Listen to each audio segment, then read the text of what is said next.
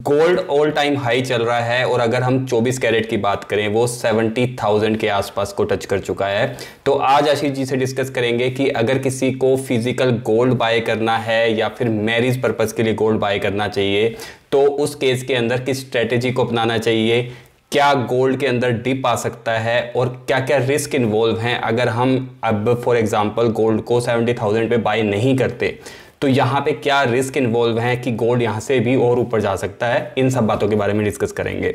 तो आशीष जी, सबसे पहले तो आप ये बताएँ कि अभी सबको कंसर्न हो गया है कि गोल्ड काफ़ी बढ़ चुका है ऑल टाइम हाई है।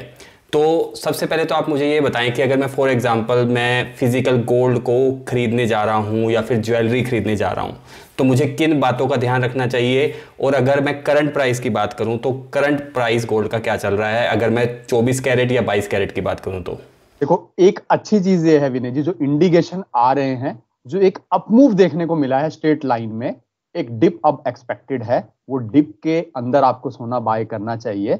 तो सबसे पहले जान लेते हैं, अगर आप ज्वेलरी खरीदने जा रहे हैं तो जिस दिन आप ज्वेलरी खरीदने जाते हैं, उस दिन का भाव काफ़ी इंपॉर्टेंट होता है, क्योंकि ज्वेलर आपको क्या भाव दे रहा है, ये जानना आपके लिए इंपॉर्टेंट है। तो अगर आप जिस भी दिन सोना खरीदने जाए कमेंट सेक्शन में ज़रूर पूछें, आपके सिटी का नाम डालें और पूछें कि आज का क्या भाव चल रहा है? 22 कैरेट 24 कैरेट 18 कैरेट का, जो भी कैरेट आप अगर लेने जाते हैं।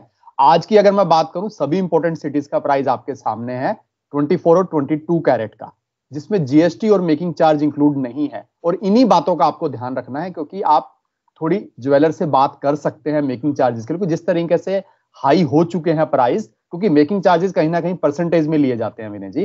तो परसेंटेज भी इंक्रीज हुई है। तो मैं तो हमारे ज्वेलर भाई जो हैं, काफ़ी इस चैनल को देखते हैं, उनसे रिक्वेस्ट करना चाहूँगा। हालाँकि ऐसा ना करें कि वो अपने मार्जिन को बहुत ज़्यादा कम करें। पर एक रिक्वेस्ट ज़रूरी है कि अगर कोई नीडी पर्सन वहाँ पर आपसे सोना लेने आता है तो एटलीस्ट मेकिंग चार्जेस में थोड़ा नेगोशिएशन ज़रूर करें, ताकि उनको एक सहारा मिल पाए, जो कि एक प्राइस बहुत ज़्यादा ऊपर चले गए हैं। इसके अलावा ध्यान रखने वाली बात है, जो कि ज्वेलरी लेने जाएँगे गोल्ड रेट इंपॉर्टेंट है मेकिंग चार्जेस कितना होना चाहिए।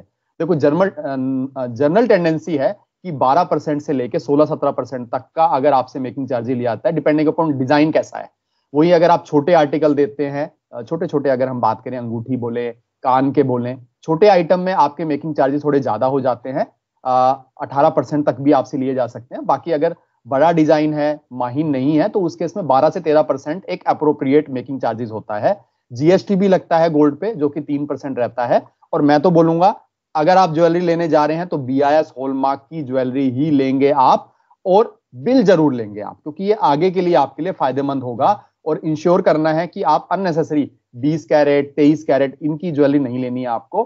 22 कैरेट की हॉलमार्क ज्वेलरी लेनी है और अगर आप कुछ पैसा सेव करना चाहते हैं तो उस केस में आपको 18 कैरेट की ज्वेलरी लेनी है। ध्यान रखना है 18 कैरेट में थोड़ा व्हाइटनेस आ जाता है और कहीं ना कहीं अगर आप डायमंड ज्वेलरी लेते हैं तो उस केस में तो आपको 18 कैरेट की ही ज्वेलरी लेनी है। डायमंड के साथ।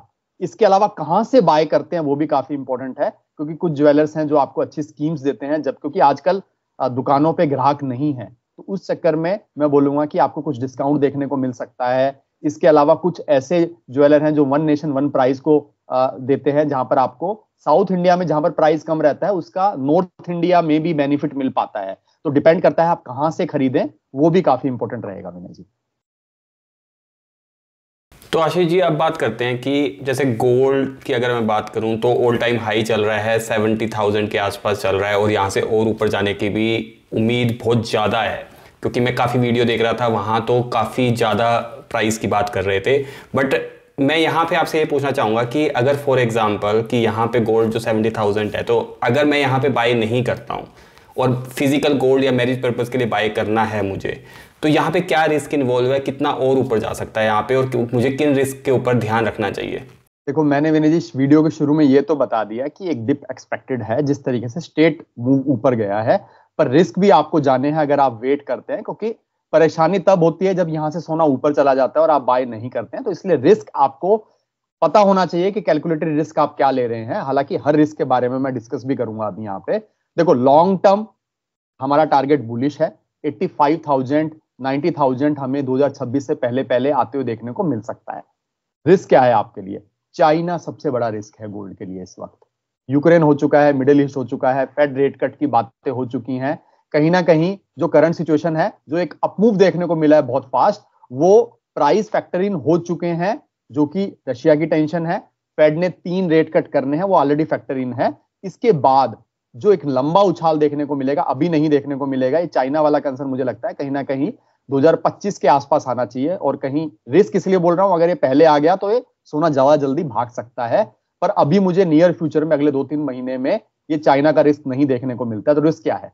यूएस चाइना ट्रेड वॉर कहीं ना कहीं अगर जो ईयर एंड पे यूएस में इलेक्शन है, अगर वहाँ पर ट्रंप की गवर्नमेंट बन जाती है तो यूएस चाइना का ट्रेड वॉर फिर से शुरू होगा, जो सोने को ऊपर लेके जाएगा। China Taiwan war situation. हालाँकि 2024 में एक्सपेक्टेड नहीं है, पर जिस तरीके से चाइना की वहाँ पर सिचुएशन चल रही है और वो अपनी बाउंड्री को क्रॉस कर रहे हैं ताइनवा में प्रवोक कर रहे हैं तो लगता है कि ये वॉर भी हो सकती है।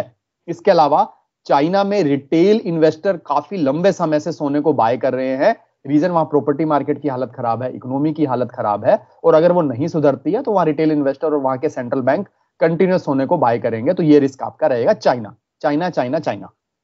इसके अलावा तीन रेट कट एक्सपेक्टेड है इस साल में। जून के आसपास मार्केट एक्सपेक्ट कर रहा है रेट कट का। अगर ये जून में ही हो जाता है तो उस केस में आपको एक और पुश सोने में देखने को मिलेगा, जो कि दो से तीन हज़ार रुपए का हो सकता है। ये डिले अगर हो गया तो डिप देखने को मिलेगा। ये भी आपको फ़ायदा होगा। तो वो जून में होता है अगस्त में होता है, ये डिपेंड करेगा। इस रिस्क के साथ जाना अगर जून में हुआ तो एक और फर्दर पुश मिलेगा। तीन रेट कट से ज़्यादा हुए इस साल तो भी सोने को पुश मिलेगा तो रिस्क साथ में रखना और सेंट्रल बैंक तो कंटिन्यूस बाय कर रहा है, ये भी आपके लिए रिस्क है। तो ये रिस्क आपको ध्यान में रखने हैं। मुझे लगता है कि जिस तरीके से सोने ने रफ्तार दिखाई है, अब आपको अप्रैल में आता है, मई फ़र्स्ट वीक में आता है, एक डिप ज़रूर आएगा, उस डिप को नहीं छोड़ना है, वो आपका एक आखिरी डिप होगा सोने को बाय करने के लिए। अभी हम डिस्कस भी करेंगे क्या स्ट्रेटेजी है, किस प्राइस पे लेना है आपको, विनय जी। तो आशीष जी, यहाँ पे हमने रिस्क की बात करी। अब मैं यहाँ से बात करूँगा कि जो आपने शुरू में बोला कि डिप एक्सपेक्टेड है तो किन रीजन की वजह से डिप आ सकता है? और डिप आया तो कितनी प्राइस रेंज के अंदर गोल्ड को लमसम यहाँ पे लमसम की बात कर रहा हूँ तो लमसम कितने में बाय करना चाहिए और सिप की स्ट्रेटेजी में जैसे ही डिप आना शुरू होता है तो सिप की स्ट्रेटेजी लेनी चाहिए लमसम बाय करना चाहिए। आपकी क्या स्ट्रेटेजी रहेगी और किन किस, किन वजह से डिप आएगा? देखो क्विकली बता देता हूँ, फिर हम प्राइस की बात करेंगे विनय जी। एक डायरेक्शन में कंटिन्यूस ऊपर गया है, जो कि सही नहीं है सोने के लिए। हर एक्सपर्ट हर जगह पर, और इनफैक्ट मेरा पर्सनल व्यू भी है कि अब यहाँ पर कूल डाउन होना बनता है। एमसीएक्स स्तर पे सेवेंटी थाउज़ेंड नाइन हंड्रेड के आसपास हम पहुँच चुके हैं, जो कि सभी न्यूज़ को फैक्टर इन कर चुका है। चाहे हम ईरान की बात करें, चाहे हम यूक्रेन की बात करें, चाहे हम फेड के रेट कट की बात करें तो यहाँ पर अब एक कूल डाउन एक्सपेक्टेड है और जब ये कूल डाउन आएगा विनय जी तो कंटिन्यूस सेलिंग प्रेशर भी इतनी तेज़ी से ही आएगा। तो ये ध्यान रखना है और अगर रेट का डिले होगा जैसे मैंने अभी बोला था, जो रिस्क का बोला था, वहीं आपकी अपॉर्चुनिटी भी होगी। रेट कट अगर जून जुलाई से फर्दर एक्सटेंड हो जाते हैं तो उस केस में आपका फ़ायदा होगा सोने में डिप आने के लिए। और अगर कोई वॉर कूल डाउन हो जाती है मिडिल ईस्ट की या यूक्रेन की या पर वहाँ पर सीज फायर हो जाता है, संधि हो जाती है, तब भी आपका होगा। अब इंपॉर्टेंट क्वेश्चन पे आते हैं। कि किस भाव पे आपको ध्यान रखना है। चार्ट अगर आप देखेंगे विनय जी, चैनल फॉर्मेशन के हिसाब से ऊपर के लेवल पे हम टच कर चुके हैं, इसी वजह से हम बोल रहे हैं, चार्ट भी दिखाता है कि एक कूल डाउन होना बाकी है या डिप बाकी है और उसी डिप का आपको यूज़ करना है। कहाँ पर आपको ध्यान रखना है?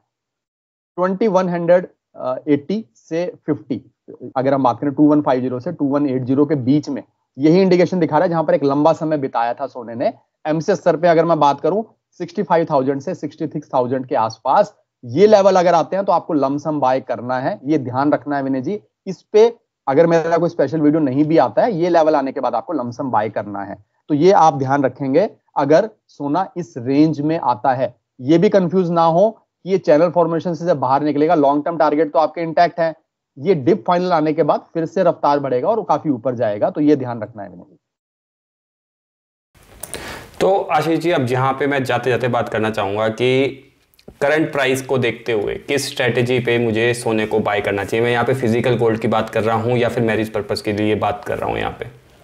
तो स्ट्रेटेजी की अगर विनय जी बात करें तो मुझे लगता है कि करंट रिस्क को देखते हुए और जो डिप आना है उसको देखते हुए एक चीज़ ध्यान रखनी है कि एक तो मंथली ईएमआई स्कीम काफ़ी ज्वेलर्स के पास रहती है। उस स्कीम में आपको एक चीज़ ध्यान रखनी है वो बेसिकली सिप की तरह आपका यूज़ होता है कि आप थोड़ा थोड़ा सोना हर महीने बाय करते चलते हैं, आपका रिस्क भी कम हो जाता है और आपको हर डिफरेंट भाव पे आपको सोना मिलता है। ध्यान रखना है, वो पैसा देने के बाद आपको जब मेच्योर होगी, उस समय जो भाव होगा, वो वाली स्कीम की बात नहीं कर रहे हैं यहाँ पर, हम बात कर रहे हैं। जिस महीने पैसे दिए, उस महीने जो भाव होगा या उस दिन जो भाव होगा, उसी भाव पे आपका सोना इकट्ठा होता रहेगा। तो वैसी वाली स्कीम लेनी है। तो मंथली ईएमआई स्कीम की तरफ़ आप अपना रुझान करेंगे। दूसरा जिन्होंने अब तक बिल्कुल सोना बाय नहीं किया है मैरिज पर्पज के लिए या फ़िज़िकल गोल्ड जिनको लेना था।